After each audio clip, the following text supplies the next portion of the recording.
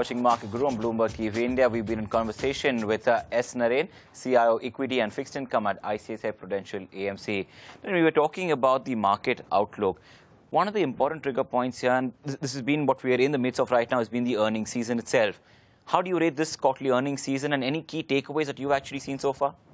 See, the earnings season has been average. There have been companies which have disappointed. There have been companies which have delivered very good returns. Okay. You see, uh, as a pack, you can see that industrials is a sector which actually disappointed. And our view has been that the capex cycle is clearly 12 to 18 months away. Yeah. And uh, now, whether you start playing for the capex cycle, which may last for many years once it starts, do you play it now? Do you wait, invest because you're confident the cycle will improve? True. So that's a very tough call. That's why today, at this point of time, when people ask me where is there undervaluation, I find that there is no undervaluation.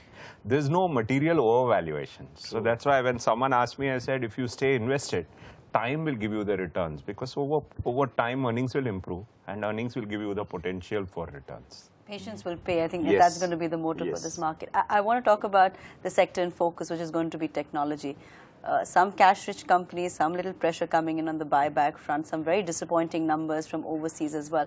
I won't ask you to comment specifically, but, but how do you think the dynamics of this sector is going to play out from here? What do you think will be, uh, will it be an outperforming sector? Valuation here as well, not that comfortable, one would argue, but on the growth front at least? Well, actually, valuations are not excessive uh, at this point of time. In fact, surprisingly, you'll find some of the small caps have got re-rated. The large caps have not got re-rated. So I think the sector is fairly valued. I think uh, as long as you're sure that rupee won't go to 58 or 56, then I think the sector is still a very attractive medium-term opportunity. And for us, if, uh, as I mentioned, this is a sector jerk.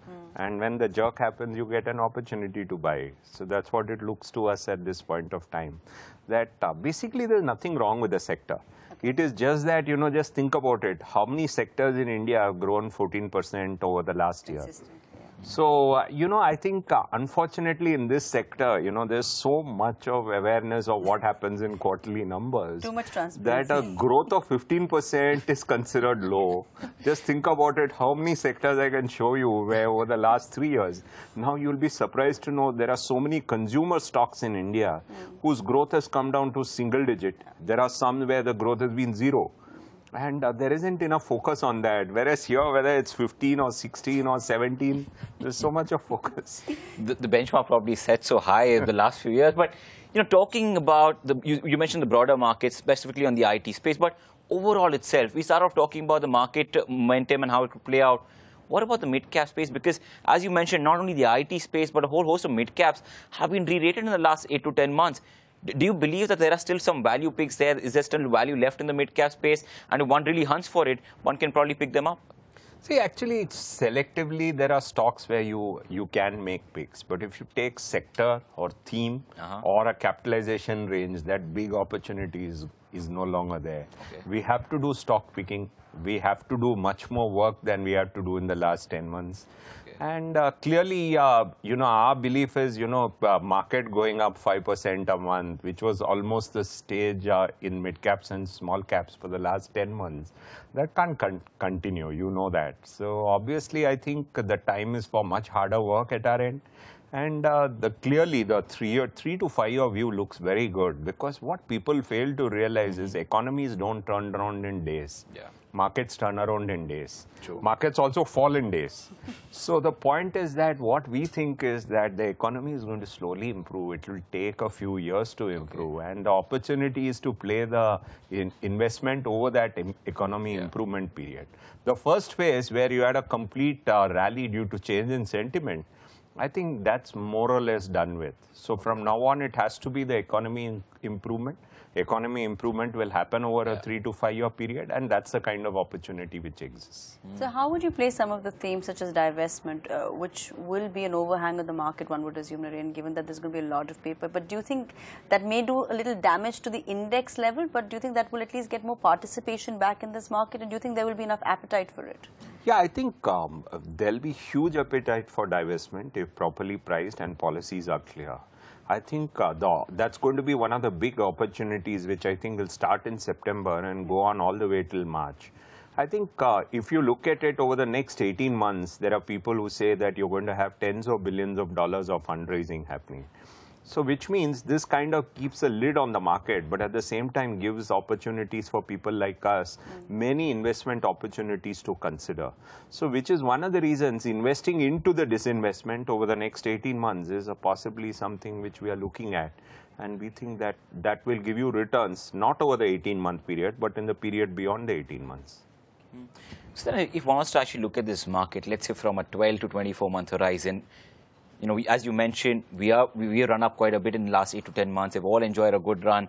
The point is, how much more potential does this market have? And if you want to increase the range from, let's say, two years to three years, what kind of growth potential can an investor actually, or return potential can an investor actually expect from this market? See, one, you should remember that none of us correctly guess markets correctly. so, you know, the fact is that that But, is but, but this is more from an expectation point from of an view. you know- expectation point of view, clearly, I think earnings should grow at around between 12 and 18 percent Okay. over, per annum over the next three years. That's a kind of return potential which exists at this point of time, which is not a bad number because how many countries are there in the world where uh, people believe that earnings could grow between 12 and 18 percent? True. So then, in, in, if that, that is the expectation in terms of this market, what kind of returns it could actually generate, what kind of sectors, what kind of themes would you like to focus on in the domestic space here? See, we still believe there is a massive opportunity in cyclicals, infrastructure, banking, and mid caps. So, if you ask me, it is infrastructure, banking, mid caps, and small caps. But remember, these are the more aggressive parts of the market. So, when market corrections happen, if people say, Will you get defense in mid caps? You're not going to get defense in mid caps. So, I think you will get better absolute returns over a period of time. But along with that, you will get more volatility. So, if you're a time bound investor who wants to invest with a three to five year view, we recommend infrastructure, banking, mid cap, and small cap, but with higher volatility during every market fall. Naren, any red flags? I mean, we've been in this sentiment bull run, uh, you know, up till May 16th, and after that, we've taken a little bit of a pause and saying, okay, you know, the rally's done. Let's let's really look at the reality at this point. Any red flags for you at this point? Yeah, I think clear red flags is that a lot of people who believe uh, over the last 10 months that you can make money in months. I think uh, that phase uh, is possibly not as easy as it should be. And in my opinion, if from here in the near term, if the market gives you a huge return, markets will get overvalued. So I think uh, I won't call red flags, but I am finding the task of communicating to people that last one year returns is clearly not sustainable and you have to aim for returns much more closer to what earnings can grow. That is a that is something we've been trying to convey to people. I won't call it red flag. I would call it that it is no longer flag. as green a flag as it was